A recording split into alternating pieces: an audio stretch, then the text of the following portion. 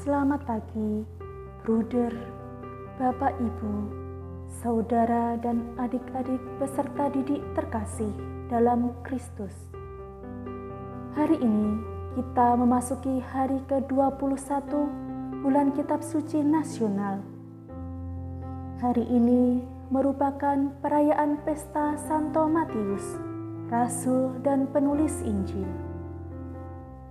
Marilah kita hening sejenak untuk mendengarkan dan merenungkan sabda Allah dari Injil Matius.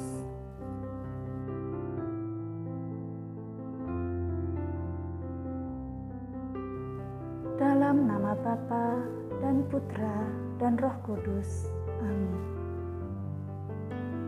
Pembacaan dari Injil Matius bab 9 ayat 9 sampai 13. Pada suatu hari, Yesus melihat seorang yang bernama Matius duduk di rumah cukai. Yesus berkata kepadanya, "Ikutlah aku."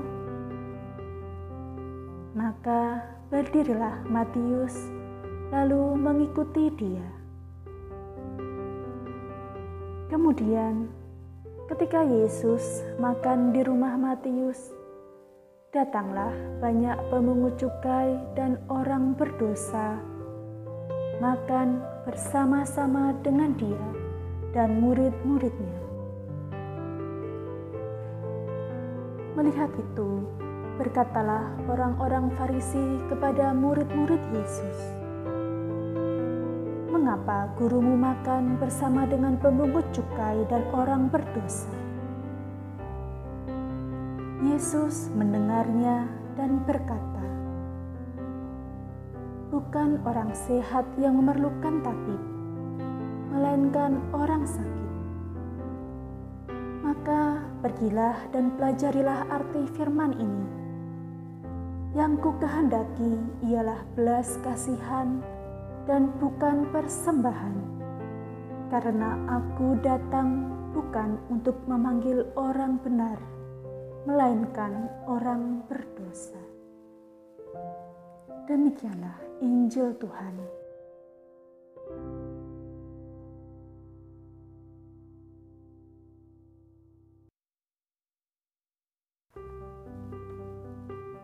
Bruder, Bapak, Ibu, saudara, dan adik-adik yang terkasih dalam Kristus. Dalam bacaan Injil Matius tersebut, Yesus bersabda, "Bukan orang sehat yang memerlukan tabib, melainkan orang sakit. Maka pergilah dan pelajarilah arti firman ini.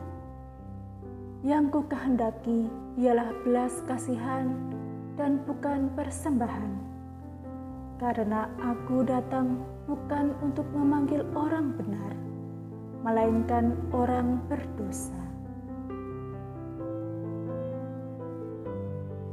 Saudara-saudariku, kita manusia dengan dosa-dosa, kelemahan, dan kekurangan kita telah dipanggil dan diutus oleh Allah untuk mewartakan kabar keselamatan darinya.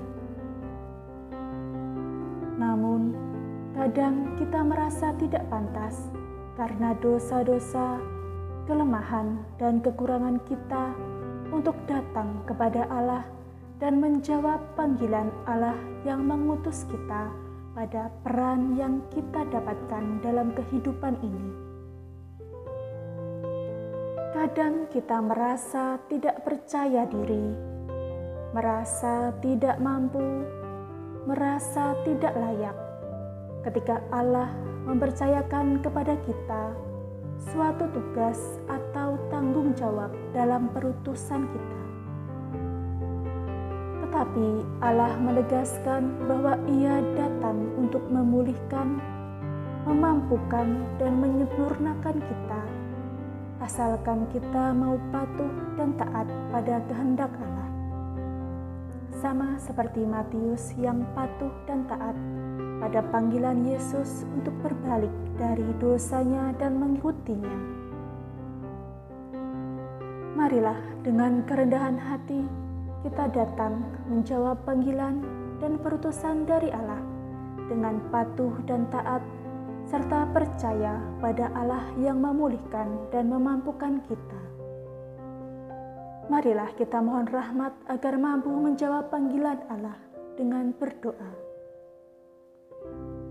Ya Allah, terima kasih Engkau berkenan memanggil kami dalam perutusan-Mu di dunia ini. Kami mohon, bantulah kami dengan rahmat yang kami perlukan, sehingga kami dimampukan menjadi alat perpanjangan karyamu di dunia ini. Amin. Dalam nama Bapa dan Putra dan Roh Kudus. Amin.